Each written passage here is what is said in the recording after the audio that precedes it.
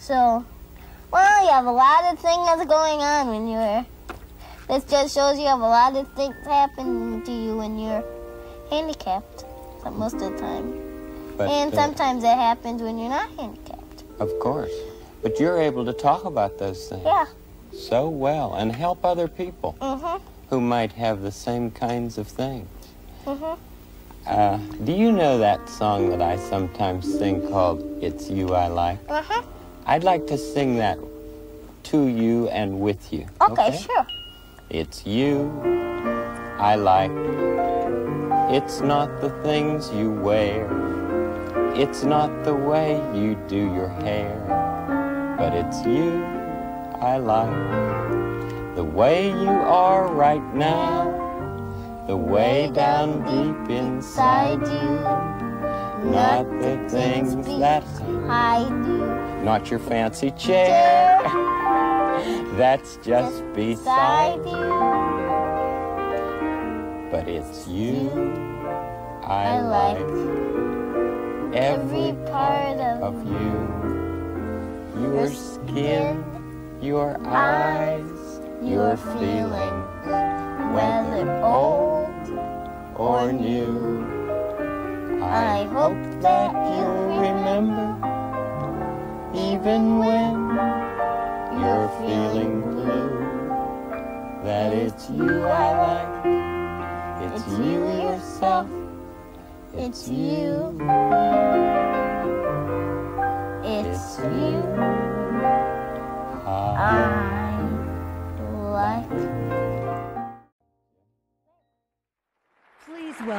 Jeffrey Erlanger.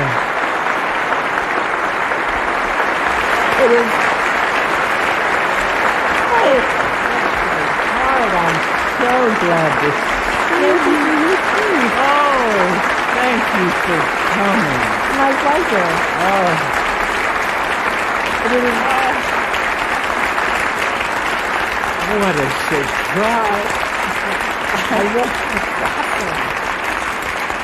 it's a, it's an honor to be here tonight to be part of your proud mom this proud moment. You know when when you tell people that it's you I it's you I like, you we know that you really mean it. And tonight I want to let you know that on behalf of millions of children and grown-ups, it is you that I like.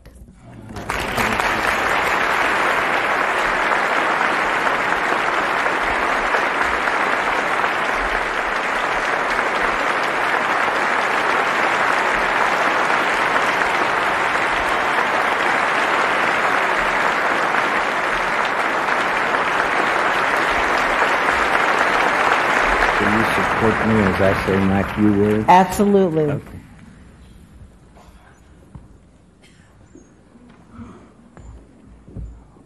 Well, yeah. to Jeff Erlanger and all of the uh, all of the wonderful neighbors who have grown up with our neighborhood. This this was, of course, completely unexpected, and what a what a wonderful gift! And I thank the Academy for allowing this to happen. Uh, Jeff and I haven't been together for a while. We met when he was, I think, four years old. Five. Five. Such good neighbors. Well, this is what I wanted to tell you before I knew that I'd have this great gift tonight. Fame is a four letter word. And like tape or Zoom or face or pain or life or love, what ultimately matters is what we do with it.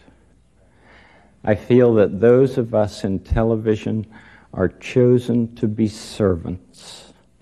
It doesn't matter what our particular job. We are chosen to help meet the deeper needs of those who watch and listen day and night. The conductor of the orchestra at the Hollywood Bowl grew up in a family that had little interest in music, but he often tells people he found his early inspiration from the fine musicians on television. Last month, A 13 year old boy abducted an 8 year old girl. And when people ask him why, he said he learned about it on TV. Something different to try, he said. Life's cheap. What does it matter? Well, life isn't cheap.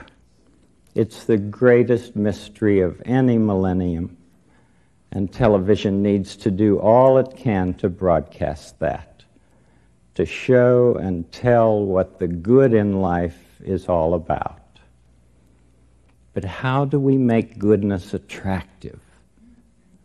by doing whatever we can to bring courage to those whose lives move near our own, by treating our neighbor at least as well as we treat ourselves, and allowing that to inform everything that we produce. Who in your life has been such a servant to you? Who has helped you love the good that grows within you.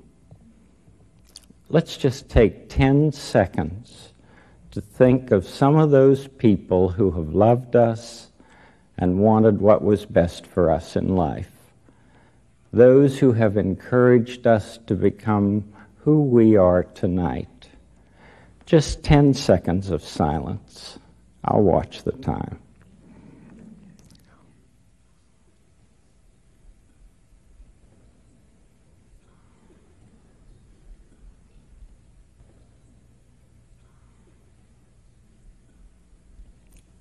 no matter where they are, either here or in heaven.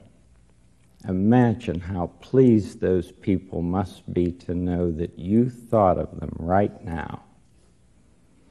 We all have only one life to live on earth, and through television, we have the choice of encouraging others to demean this life or to cherish it in creative, imaginative ways.